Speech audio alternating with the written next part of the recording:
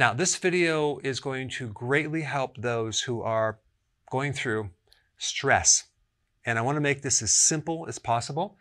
You're just going to be drinking one cup of this thing I'm going to tell you in a, in a few minutes daily to bring down your stress to zero. But I first want to explain why it works. Now, I do want to say that reducing your stress to zero is not healthy for a long period of time. In fact, you can't live without some stress. Stress is actually healthy as long as it's not sustained. Our bodies become stronger when we put our bodies through stress, like exercise, for example, right? If you sat on the couch, no stress, did nothing, you would waste away. The problem is sustained stress burns out a lot of your organs, and I want to just go through that fairly rapidly. Number one, the immune system, okay? Stress, high levels of cortisol. This HPA stands for hypothalamus, pituitary, adrenal. So when you perceive stress through your brain, it goes through these different levels and then it comes out as cortisol. And so now your body can start adapting to stress with the help of cortisol. So cortisol kind of goes through these organs and adjusts the organs to deal with this stress. But with the immune system, uh, it basically turns off. And that makes you very susceptible to viral infections and all sorts of things. I mean, think about what happens um, when people get stressed out. A lot of times they get sick, right? And so um, stress is, suppresses the immune system. So that's not a good thing. Sustained stress can create atrophy to your lymph nodes, actually shrink your lymph nodes, shrink the spleen, and the thymus. That's your immune system. Okay, so stress is very bad for the immune system. Okay, so now the stomach, you can actually develop an ulcer. You can have the acid start splashing up, causing GERD. There's more gastric acid increase in the stomach. That's why you might get gastritis. The entire digestive system is controlled by the parasympathetic. That's the rest and digest. That's the opposite of this stress mechanism right here. So stress pretty much turns off the digestive system. Try to digest when you're under stress. It just doesn't work. Now, as a side note, stress also depletes you of vitamin B1, calcium, potassium, and this thing right here, H+. That's a hydrogen ion. Now, what does that mean? What is, how does that relate to anything? Well, when you're going through stress, you lose the hydrogen ion. What is the hydrogen ion? Well, you know what, you've heard of pH before, right? pH, that's the power of the hydrogen ion. So basically, this is an acid. So when you go through stress, you're jacking up cortisol, you're losing your acids. And guess what? You become too alkaline. So you would think that stress makes you acid. No, it doesn't. It makes you excessively too alkaline. And the symptoms of alkalosis are muscle twitching, hyperventilation, cramping, anxiety. Interesting. Now, stress affects the heart by increasing the blood pressure, the heart rate, and creating a constriction of the coronary artery. Stress affects the blood sugars by turning things into sugar, okay? Your fat into sugar, protein into sugar, ketones into sugar. And this is why high levels of stress can even make a person a diabetic. Okay, so even though you're not eating sugar, your body is producing sugar out of other things by having too much stress because another name for this is a glucocorticoid. Now, all this sugar that's generated is basically making us fat.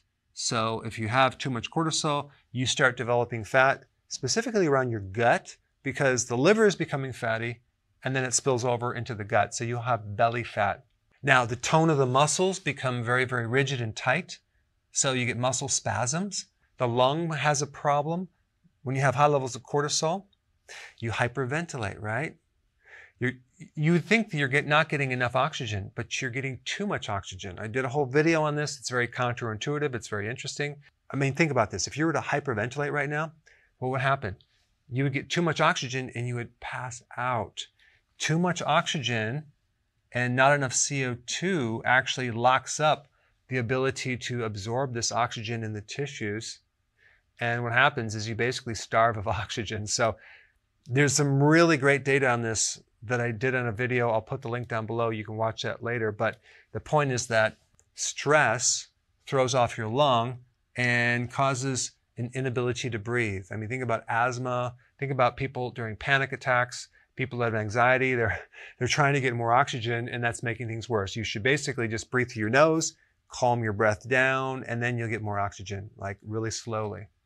Now, the brain. This is the last part of this puzzle. Stress both destroys certain parts of the brain, that's why it affects your sleep, your circadian rhythms with sleep, but the perception of stress coming through the brain that's activating the cortisol is controlled by this neurotransmitter called GABA. Okay? GABA is like a turn-off switch. It's like the brake pads. 50% of all the little um, synapses in your brain are a kind of combination of glutamate and GABA receptors, okay? And only 5% are dopamine and serotonin. So all you need to know for this example is GABA is very, very, very important in relationship to cortisol.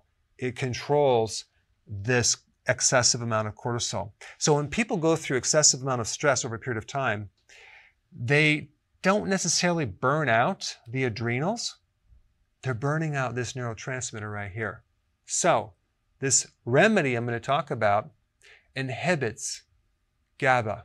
It blocks the enzyme that slows down the degradation of GABA, thus increasing GABA, which turns off cortisol.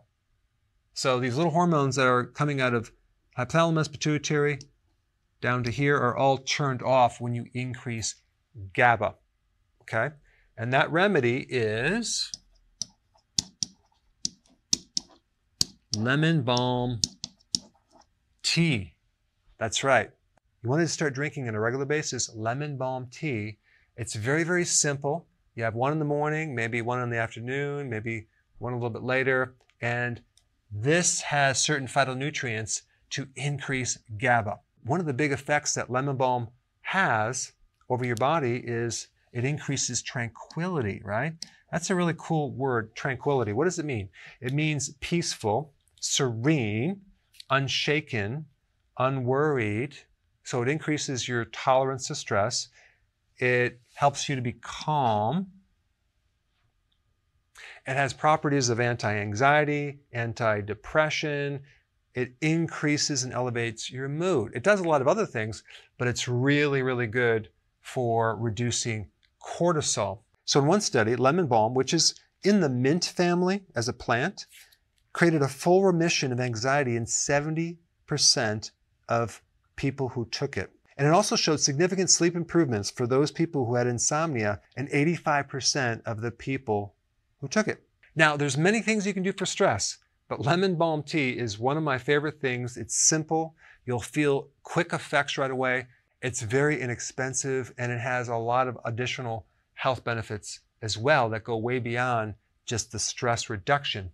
Now, if you have not seen my video on how to do acupressure for stress, you definitely need to check that out. I put it up right here. Check it out.